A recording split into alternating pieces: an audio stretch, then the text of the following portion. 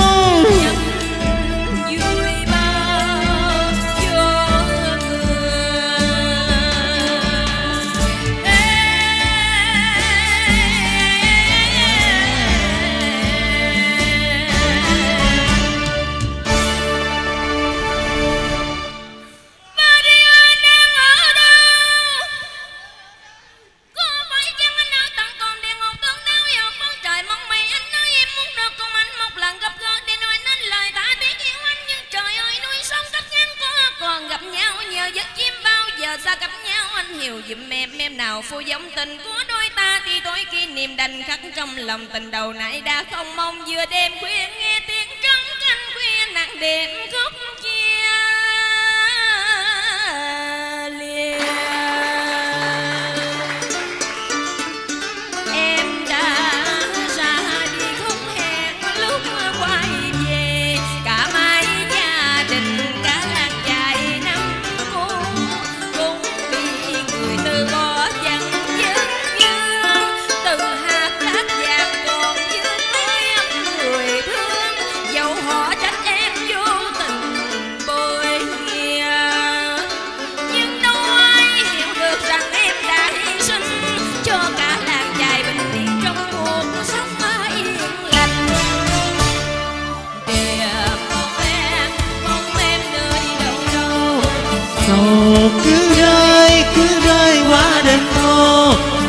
hát giới dời như nhắn bao đời.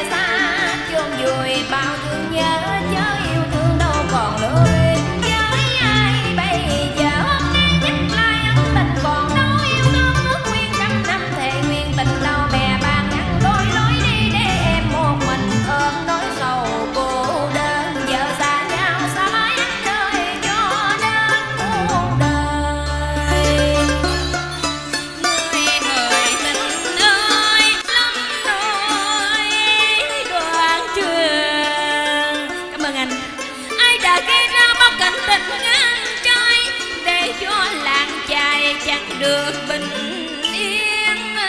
Cà rui anh xin hứa với em, Anh sẽ là một người anh, Sẽ bao bọc và giữ gìn trọn vẹn.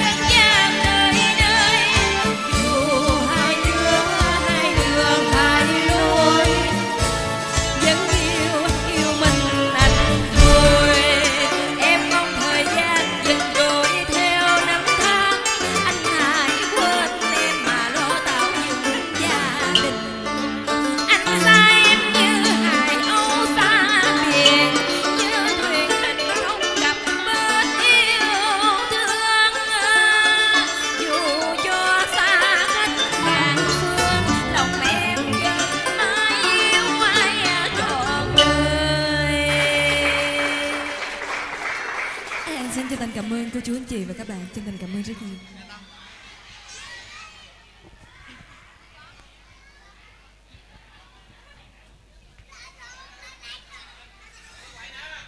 Và một lần nữa, xin à, thay lời dòng hát ngọt ngào và dễ thương của nữ nghệ sĩ Ái Hằng. Chân thành cảm ơn gia đình và tất cả quý vị quan khách đã cổ vũ cho Ái Hằng những cành hoa thân thương và những tràng pháo tay thật nồng nhiệt. Hùng Thái xin thay lời chân thành cảm ơn.